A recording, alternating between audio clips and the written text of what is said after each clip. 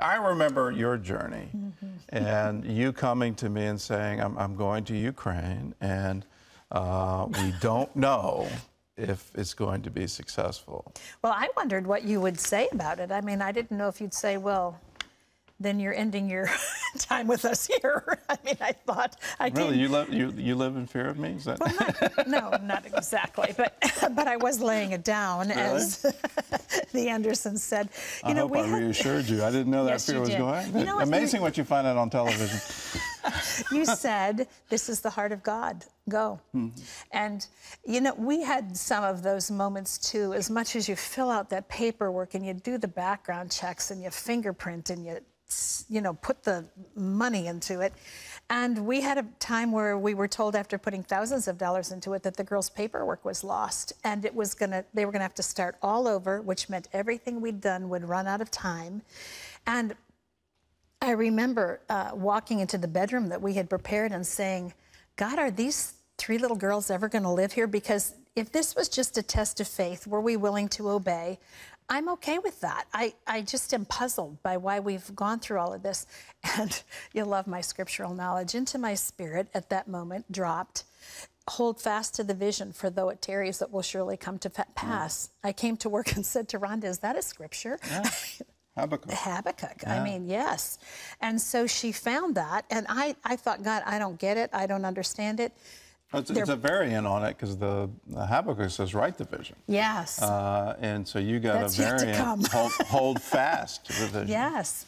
And so we we um, then the, one day the paperwork was found, and it was kind of like what what they just said in that story. It was at the right time. The paperwork was done, and then the day before we were to leave, the government shut down the adoption agency in Ukraine, and we thought we had our plane tickets, we had our child care planned, hotel reservations, everything. And the leadership here said, "Go." Just go, get there and be there. And we went and sat for a week over there. And then finally, at the right time, things began to roll. And you are right, it was just the beginning of the journey. Nowhere near the finish line. You know, it's, it's so hard to adopt that I'm amazed that people go through that process.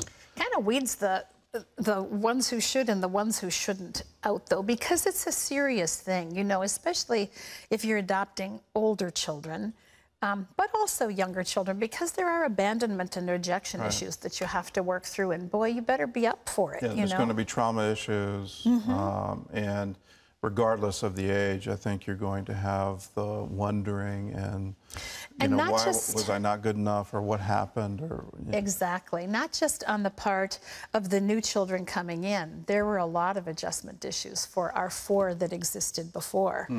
Um, two who were biological, two who were adopted. And, you know, hindsight's always 2020, I think.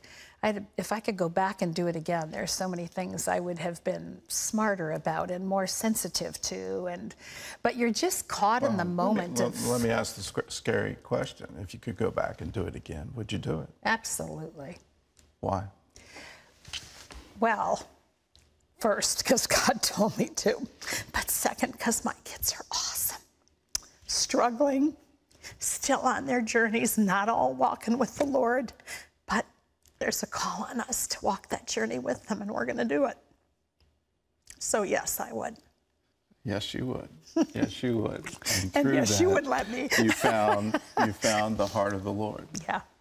That even when we're rebellious, even when we've got all our trauma issues that we all created, He still holds fast. Yeah. That I want you and my family. He Yeah. still wants that, and you you've learned that in a way most people will never know. Yeah. You got to hang on to your kids, adopted or not, like a bulldog on a pants leg, and just believe for them, speak prophetically over them, pray through the night. They're coming. Yeah. And always remember, bless and curse not. Yeah. You want to bless their future. You want to speak that over them, the hope, the calling, the love, uh, and and hold fast to that because they'll turn. They'll they'll they will come. And you know, the other thing that's awesome about it is that I think just having children in general, but it's such a reminder of how God loves us that it keeps you ever in that place of gratitude before Him saying, that was me to you, how I broke your heart, how I do break your heart. And you are there anyway. It's all good. Amen.